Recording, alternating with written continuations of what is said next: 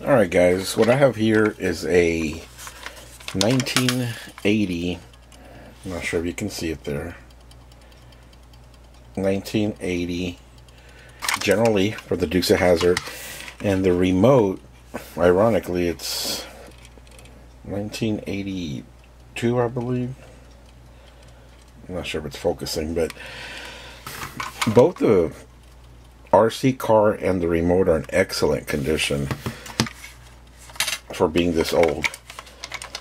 Um, the antenna's kind of bent a little bit, but that's normal for these type of vehicles here. This is the the RC remote. It just takes a 9 volt battery. But uh, I'm not sure if it's supposed to be doing this, but it just has. As soon as you turn it on, it starts. There's no stop on this guy. Um, it does have forward. And when you release it, reverse, forward, reverse. And that's all it does. Um, not sure if that's the way it's supposed to work or if it's not working properly, but um, that's basically what it does. It just has forward and backwards, but it doesn't have a stop button.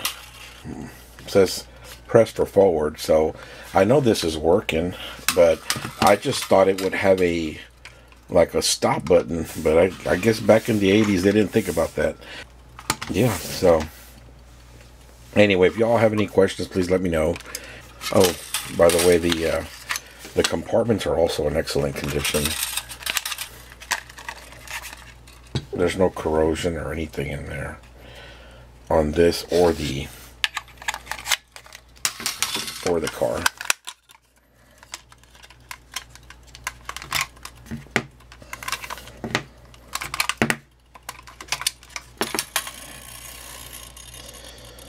So that's pretty much it.